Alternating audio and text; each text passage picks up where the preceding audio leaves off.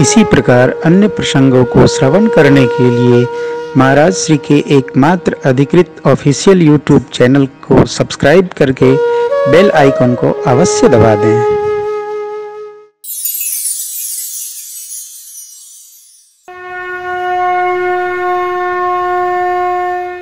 तो गरुण जी महाराज पधारे। कोई श्रीमान आए तो स्वागत करना परंपरा है। श्रीमान लोग आते ही असमय में है। श्रीमान लोग सोचते हैं, समय हमारा है, हम जब गए तभी वेलकम कथा प्रारंभ हो गई। मंगलाचरण करके भूमिका गा रहे थे बुसुंडी बाबा। बुसुंडी रामायण में वर्णन है। पहुँच गए। पहुँचे। देखे, राजा साहब आए तो स्वागत करना तो स्वभाव है। स्मरण किए, पूजन किए, हाथ जोड़े ए नाथ, आपके आने से मैं धन्य धन्य हुआ। आज्ञा करिए मैं क्या करूँ? तो गरुड़ जी बोले, आप मेरे आने से धन्य नहीं हुए, आप पहले से ही धन्य हैं। आप स्वनाम धन्य हैं। क्यों? आपकी प्रशंसा। भोले बाबा ने की अरे नहीं महाराज, फिर भी आज्ञा करिए मैं क्या सेवा करूँ। आहा। गरुण जी की वाणी बड़ी मधुर है। बोले सोन होता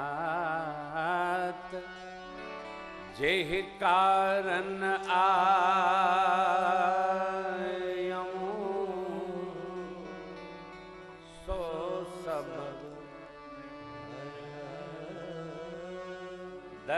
दरस तव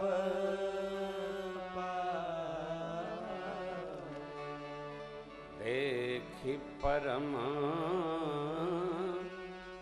पावन तव आश्रम गयऊ संशय ना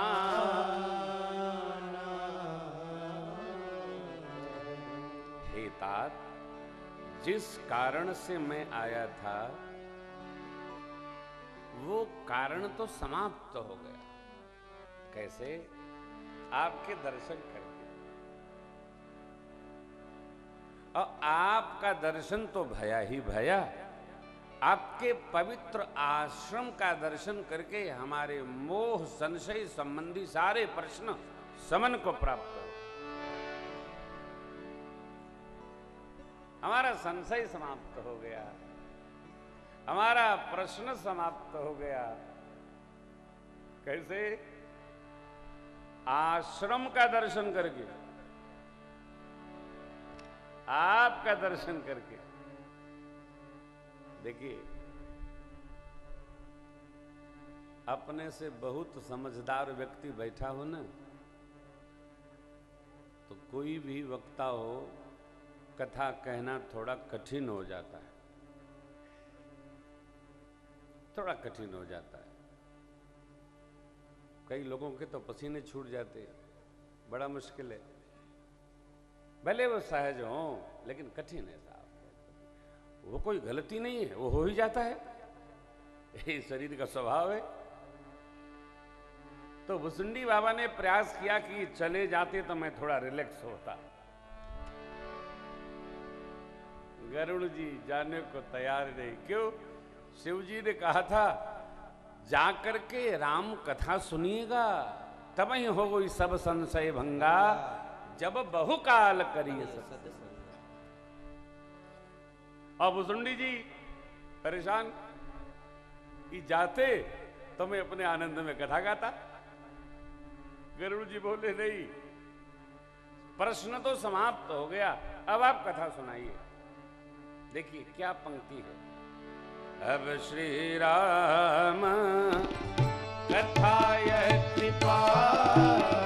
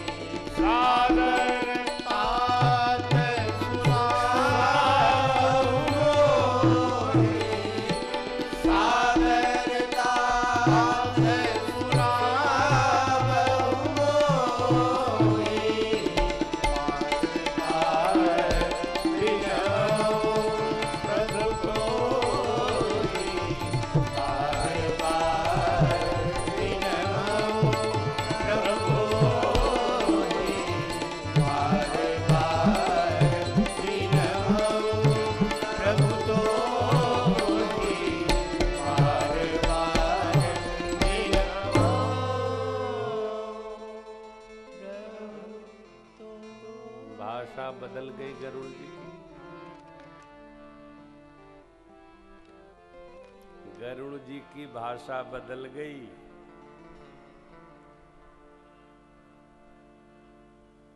सुभाषित कहता है, पक्षिराम का चांडाल, पशुराम चांडाल कुकुर।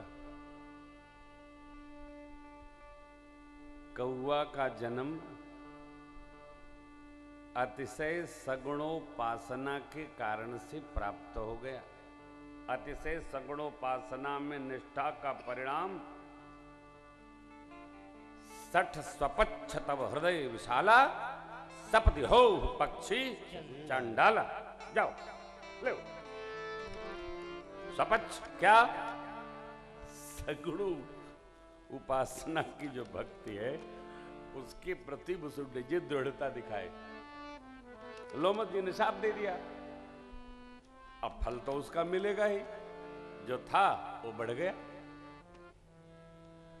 गरुण जी, ऐसे पक्षी श्रेष्ठ कौआ महाराज की बार बार विनती करते हैं। बार बार बिनवऊ प्रभु मैं बार बार आपकी विनती करता हूँ। अब बड़ा कठिन काम है। चलिए, कथा भी हो गई। नौ दिन कथा हो गई। बाबा ने कहा, महाराज, पधारो। बोले, ना, अभी तो कथा सुनकर के और प्रश्न खड़े हो गए। तो पूछो, महाराज, प्रश्न पूछे, उसका उत्तर आया।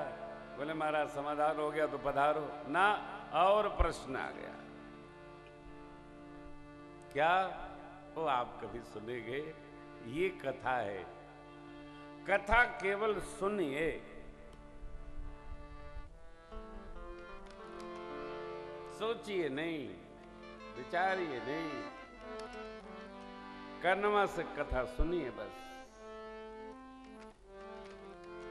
एक जगह खंड रामायण हो रहा था। मैं जा रहा था वहाँ से ऐसे ही, रुक गया, प्रणाम किया। तो मैंने घर के मालिक कौन है पूछा, मालिक आए तो मैंने कहा, ये आप अखंड रामायण क्यों करा रहे हैं? हमारे ढोलक जाल मजीरा लेके लोग जुटे थे, पढ़ रहे थे। मैं भी बैठा। बोले, महाराज, बिटिया की शादी है तो सोचे शादी के पहले अखंड रामायण हो जाए। तो हमने कहा, कोई हेतु? अब बस वही ब्याह है तो थोड़ा कुछ भजन हो जाए। हमने कहा, ये आप भी बैठते हैं? बोले हाँ हम भी थोड़ा पढ़ते हैं, लेकिन लोग, सबको बोल दिया है, सब लोग पढ़ते इतनी सहजावस्था है कि जो कोई अनुष्ठान नहीं कर पाता है इस कलयुग में, वो अखंड रामायण करा के ही बड़ी वाली यज्ञ कर लेता है। ये है राम कथा। वो कुछ बता रही, कुछ पता नहीं। कौन पंडित जी को बुलावे? कौन आहुति डारे? बड़ा विधि है। ये है रामचरितमानस। घर घर। गाँव गाँव। कोई मौसम आ जाता है, उसमें अखंड रामायण चलते रहते हैं। गृह प्रवेश कराना है तो अखंड रामायण करा लो। उसमें जो बड़े बाबू लोग होते हैं, वो हम लोगों को बुला लेते हैं, महाराज कथा हो जाए, मकान बनाए। चलो भाई, हो गए। तो एक दिन, दो दिन, तीन दिन। इतनी सहज अवस्था। और मस्तिष्क में इस बात को गंभीरता से बिठाइए। जो बैठते ही, मैंने निवेदन किया आपसे कि सतयुग, त्रेता, द्वापर से वर्तमान कलयुग सबसे श्रेष्ठ है। क्यों है? जितनी भक्ति का प्रवाह आज प्रवाहमान है उतना किसी युग में ऐसा रहा नहीं। आप या तो पुराण उठाकर देखिए, या किसी स्मृति का दर्शन करिए। हर जगह ऋषियों ने एक बात कही है, ये धर्म है, इसको करो। आज कोई धर्म करने को नहीं कहता है। जो करने वाला है, वो स्वयं करता है। धर्म सिद्धांत को सभी ऋषियों ने बहुत कठोरता से पालन करने को कहा। आज का व्यक्ति जितना जानता है, मानता है, उतना पालन करता है। और सुखी है। हमारे जीवन में, हमारे जीवन में जितना सत्य, धर्म परमार्थ रहेगा उतना हम सुखी रहेंगे। ये बड़ा बाबू भी मानता है, रिक्शे वाला भाई भी मानता है। अधर्म करते हुए कोई सुखी नहीं रह सकता। धर्म पर चलने वाला ही सुखी रहता है। धर्म का मार्ग सुख का मार्ग है। अधर्म के पथ पर चलकर किसी ने जगत की सामग्री एकत्रित भले ही कर ली, सुख नहीं मिलेगा। सुख का संबंध सामान से नहीं है, हमारे मन से है, हमारे हृदय से है, हमारे विहार से है। बहुत सामग्री एकत्रित हो और हम मन से सुखी न हो, प्रसन्न न हो, व्यर्थ है। अयोध्या का राज सिंहासन माँ कैकई ने भरत जी के लिए मांगा।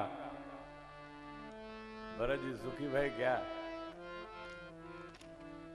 कहते हैं देखे बिनु रघुनाथ पद जिय के जरनी न सुख कहाँ है? श्री रघुनाथ जी के चरण में। सो सुख धाम राम यस। रामा। सुख कहाँ है? धर्म चरण में। भगवान धर्म के स्वरूप है। सुख कहाँ है? सत्य के दर्शन में। हम अपनी अपनी परिभाषाएँ मित्रों, माताओं, भले ही निश्चित कर लेंगे, परंतु सुख वही है जो शाश्वत है। सुख वही है जो हमको सुखी रखे ना। देखिए ना, बच्चों का खेल सुख है, युवानी का विषय सुख है, वृद्धावस्था का सत्संग सुख है। लेकिन किसी को पता है क्या? बच्चे खेलने तो युवानी डिस्टर्ब होती है। युवानी अपनी रंग में है तो बुढ़ापा डिस्टर्ब होती है। बुढ़ापा सत्संग में नहीं गति की तो युवानी डिस्टर्ब होती है। क्या बेमतलब का टेंशन पाले रहते हैं? सत्संग करिए। अब यदि अभ्यास नहीं है युवावस्था में तो बुढ़ापा में सत्संग बनता नहीं है। युवानी में इसको बना लिया जाए, बचपन में कर लिया जाए, तभी वृद्धावस्था सत्संग में जाती है। नहीं तो नहीं। नहीं। सत्संग पर प्रवचन सरल है, सत्संग करना सरल नहीं।